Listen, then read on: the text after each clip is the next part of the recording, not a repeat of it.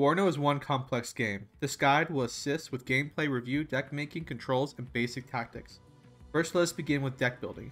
In Warno, there's a division system maker where you can create divisions loosely based on his historical units.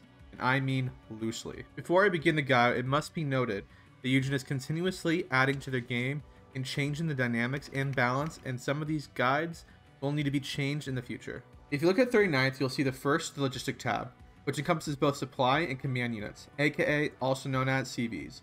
You must take at least one CV from the tab and a minimum of two supply types. Ideally, you want a fast supply that can reach the front quickly as possible. Units through supply can be given both ammo, fuel, and replenish health. The ammo and health regeneration applies to all unit types, including infantry. Furthermore, supply trucks should not have fuel, meaning they can drive anywhere forever. Also, they cannot transfer supply from one truck to another, but this could be added later on. Helicopter supply can be a good for the mobility, but keep them deep in the rear due to their mobility to be spotted and targeted by AA and arty when landed. They must be landed to supply to be given. They're best used to be given to artillery, but make sure you constantly move your artillery away when firing to make sure they don't get mistakenly uh, counter battery. Within the infantry tab, there's five basic types of infantry. There's your close quarters combat, aka CQC. These will be your satchel troops and flamethrower troops. Line infantry will be normal squads that come in trucks and armored troop carriers. The third type is airborne, gets you 4 deploy before the entire line. Both recon and airborne troops get 4 deployment before a battle, and airborne get to deploy even further than the recon units. These are ideal troops to start the game with. Lastly, there's anti-tank guide missile units, aka ATGMs, and heavy MG teams. ATGMs and heavy MG units are great for defensive positions. Obviously, self-explanatory, ATGMs are anti-vehicles, uh, heavy MGs are obviously anti-infantry. Both great because they can go into housing. Now, this should be player choice, but I ideally like to have a decent number of CQC troops. Most decks are limited, so it always must take all the flamethrower troops. They'll wipe the floor with almost any form of infantry, but always put them in some AT units because they cannot fight back against armored units. This is the same with satchel units as well. They have no ability to defend themselves against any type of armored unit. In infantry heavy decks, you should at least take one type of ATGM. I tend to favor the most cost efficient type, 49th, that would be the Got. However, this is open to your needs and your playstyle. Also, not every deck must take them. This is a heavy tank deck, which have many ways to kill army units. It may be best if you took plenty, and I mean plenty of line infantry. You should take at least two fast units and two armor ones, and whichever you feel you want more. Fill in the rest. I also recommend taking one infantry CV in most heavy infantry decks, which can help vet troops and cap flags. It must be noted that when CVs are within range, it will rank up the unit by one level, which will be maxed out at level 3. Now you're wondering, what does Veterancy do? It increases the accuracy, it reduces suppression, and gives a whole bunch of bonuses to that unit's stats. In general, these changes are consistently changing due to Eugen's updates, so just be, it just needs to be noted that when you have the exact same unit one-to-one, -one, the one that's vetted up will tend to win more. The tank tab is interesting because you'll see the most variety between players. I recommend you take at least some CQC tanks, which tend to be cheaper, Additionally, tanks with veterancy are critical because whenever you get the first shot will drastically determine whoever wins the engagement. Also, the game is timed for 40 minutes. To ask yourself, are you going to buy all 50 some, some something unvetted tanks? Um, probably not. So sometimes it's best to just vet. This is also applied to infantry as well. Also look to their stats between models and see what tools you want. Some tanks have little differences and some immensely. For Pact, you'll see many tanks have or do not have ATGMs for the extra range, and you may want to check if the price is worth your playstyle and what you're using that tank for. Recon. Try and at least take two to three cards. Don't vet up because Recon is best for its optics and it does not change the optics by vetting up. Try to grab stuff with cheap and the best optics. In Warno, Recon is extremely necessary. Lots of players get into situations where they cannot see who is shooting them due to lack of Recon. Also, make sure you do not take the most expensive stuff because maybe it's actually worth other players to sacrifice expensive aircraft to shoot down your expensive helo because you're spotting everything, and when that thing's down, you can't see anything. Also, recon can be great to get into the front fast. Many decks have some strong fighting recon troops that can get to the forward deployment, but it must be noted that airborne will have a further forward deployment than your recon units. So be cautious where you're meeting up to the front line.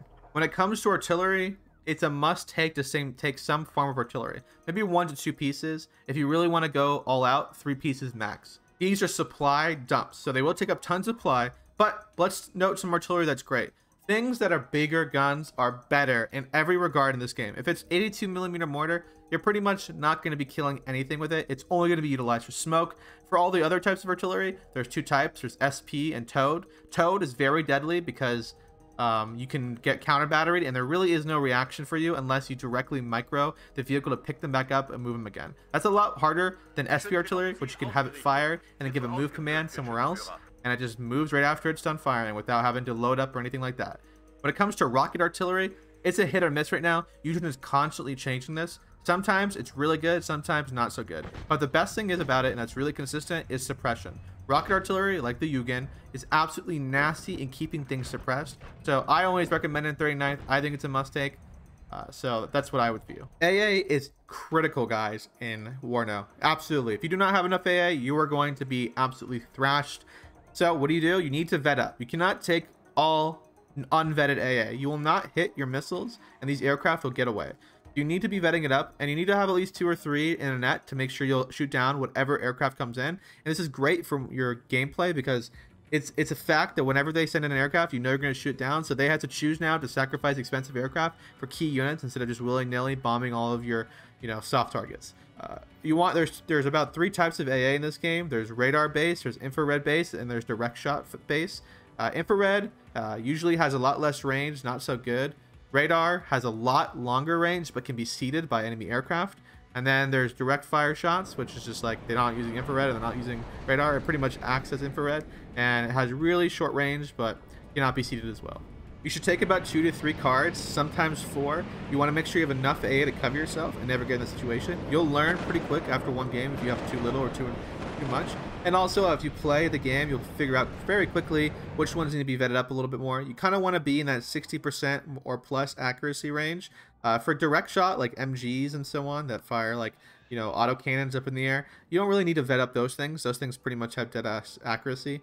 Uh, and it must be noted, if you're confused about which ones are radar, which ones are infrared, which ones are direct, it's right here in the right-hand corner. Just put your mouse over it. It'll tell you. Okay, guys, helos. Helos are super freaking important. Just because if you're playing 1v1s or team games, when people reach behind your lines, they won't have AA cover. So helos are absolutely great for mopping up units. And they have tons of rockets. Now, there's tons of different helos in this game. There's AT ones, rocket ones, AA ones. Uh, so for 39, for example, I think it's a must take to take two cards of M24 AA helos. Those will counter enemy helos, also give you some AA ability against aircraft.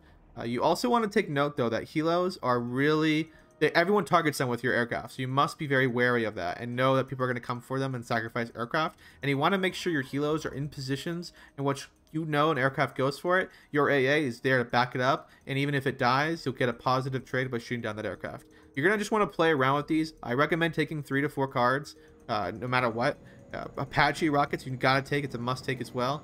Some of them you'll quickly figure out that they're very weak in health and you'll stop using them. But in general, you always want to take some form of helos. Some decks get more than others, but again, must take in general. Now, air is very complicated, and every deck has its pros and cons. But in general, what do you need to take? You need to take at least one card of fighters, whether it's expensive or not. It's up to you. That'll be up to your playstyle. Again, you may want to take two cards. You usually want to take one elite card and maybe one card of cheap fighters. Cheap fighters are going to be utilized for killing you know, sometimes they're slower AT planes or rocket planes, but also good for killing helos. And if you lose it, it's okay because they're really cheap.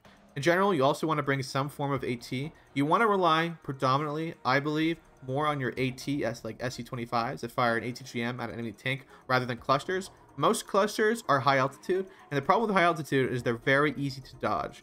Low altitude clusters are a must take though in general because there is zero way to dodge that and they will hit you. HE bombers have a similar situation. You may want to try to avoid HE bombers that can be dodged, which are high altitude. They do get out a little bit faster, so that is the pros of it, but you may not get the kill. Rockets are also awesome. SC-25, for example, is a must take. It deletes almost any type of infantry or soft unit, so really good. Laser guided bombs, similar thing, just more accuracy HE and SEAD. SEAD is going to be something that's very sketchy between all the decks. Some decks have really good SEAD, some decks do not. So you really want to be 50% plus on that SEAD, or it's starting to get too expensive and probably not worth. And you got to take note that the SEAD is something to promote a, a winning game. It's not something you buy early out just because if it gets hit, it's out for like eight minutes and you paid a lot. They tend to be in the 290 plus range of cost. And you probably only killed maybe like a 120 OSA at max, pretty cheap AA. In comparison, you need to kill at least two or three AA to really go positive with your your, your SEAD. But in general, you really want to max out your aircraft. These will be your fast reaction reaction units. And also, you want to have a tool for all categories. You want a good fighter, you want a good eight, something for anti anti tank. You also want something for infantry. But predominantly, if you have to sacrifice any category, I recommend sacrificing HE bombers. Uh, I think it's more important to kill those heavy tanks and have a fighter to really cover yourself in a tough situation. Hotkeys are a must in Warno, guys. If you don't use them, you're going to put yourself at a huge disadvantage. So let's go over the keys. WST is to obviously move camera. Attack move is Q, so if you need to do, it will mean as a unit will stop moving when it meets enemy contact and engage. And then when it's done, it will continue on. To create control groups, obviously pretty easily. Control 1 is to create a group 1, and then you just push 1 on your keyboard, goes to that, and you can do that through the entire number pad on your keyboard. To flare for your teammates information, flare an attack beacon is F1. To flare a defense beacon is F2. To flare a help button, you know, send a help assistance to yourself or to help out your teammate, push F3. To send a direct message, such as like, uh, you know, attack here or need help here on the board, you can push F4 and then you can type it out. Another really key is to a stop order. That's E. So if you miss the order, for example, stop, just push E, it'll stop. Also, another key position is fire position, which is T. That means where you want to give artillery. And the best thing about artillery, right, is you can create, create a control group, control one, push one on your keyboard, still be looking at the front line, not even look at your artillery, and then push T to where you want them to fire, or just click right click on the enemy unit if you have visual on it. To turn weapons off and on is H. You may want to do that to save your ATGMs, for example. To reverse out of a bad situation is G. So really key is that G key to back out of situation. And another one with this is the B to smoke to get out of there. And if you're looking to auto sale or not auto sale based off the smart orders, which we'll go over a little bit later, yeah, to evacuate units, for example, to get them to sell, you can push the V. Uh, but obviously, you can change all of these. Uh, call you know these are all these are all the keys that you really need to look. I have a now image of there, you can see it, and these are key to learn utilize. Like they'll just make everything way more streamlined. You don't have to get direct controls, all the little orders, and it'll help you out significantly. So please look it over, learn these couple hotkeys, especially attack move, reverse, you know, move fast orders F, attack fast is N. You know, things are really key to playing at a high level or even a decent level with your friends. You can have a competitive edge maybe.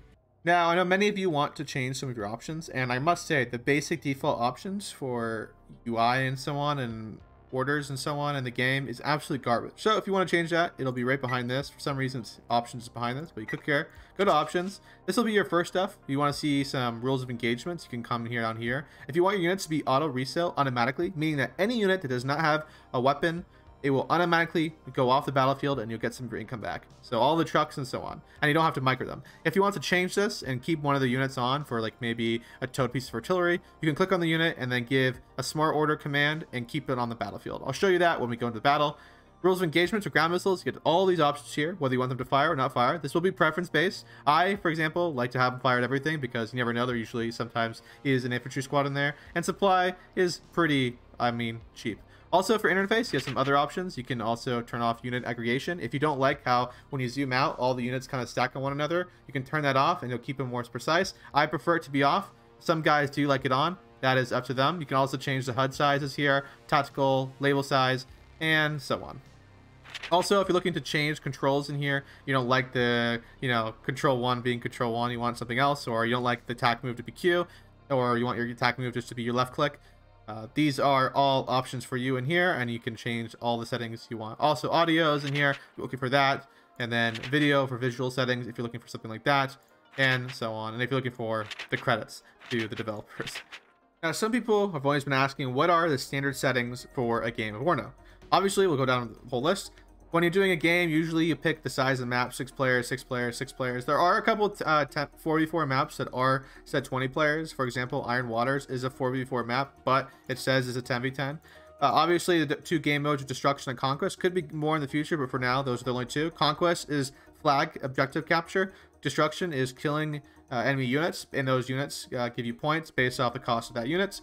Obviously, you can do NATO versus NATO, NATO versus Pact. Most games are NATO versus Pact, though people like to play, you know, the Cold War experience. Starting resources is 1500. That is the normal settings. If you increase or lower it, you will decrease the number of people joining your lobby, but this is the normal setting. Income rate factor, obviously, same thing, is one times is the normal income factor.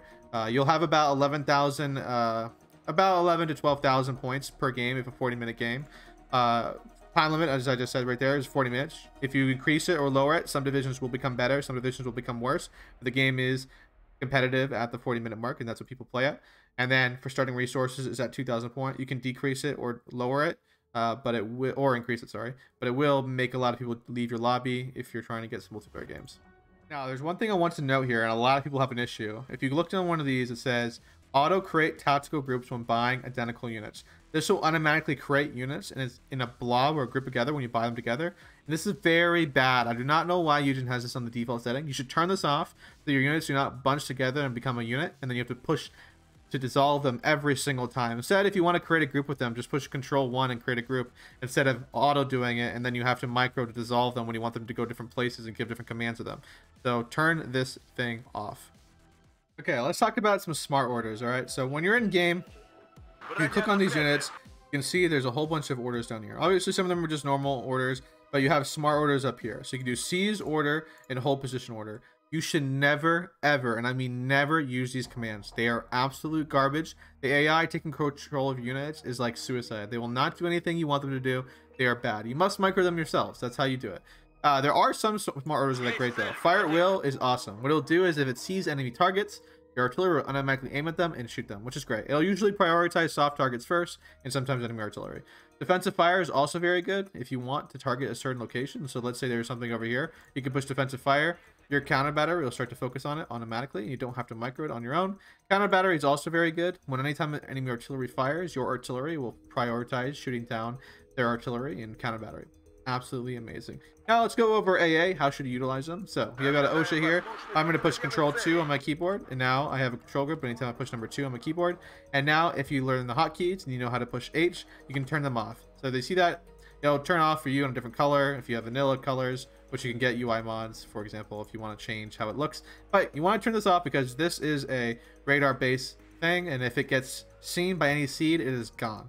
Um, you want to turn them on and off based off like what you see the enemy have or what deck they are. But in general, if you can, you want to control group all of your AA so that when something does fly by, you can just quickly push H on your keyboard and it'll turn off all their weapons. And when their weapons are off, they cannot be seated, which is amazing. Also, if the unit is out of ammo, it also cannot be seated. Now, some tips for some artillery guys you want to do is, for example, you have a control group, which I have control 1 on my keyboard.